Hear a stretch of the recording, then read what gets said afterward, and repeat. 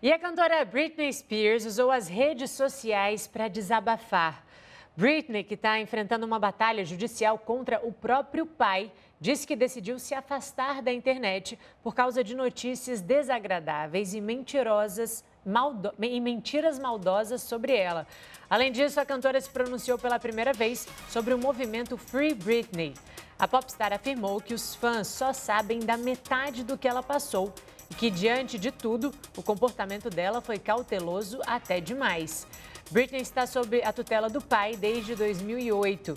Durante um depoimento, ela revelou que era forçada a trabalhar e obrigada a tomar estabilizadores de humor.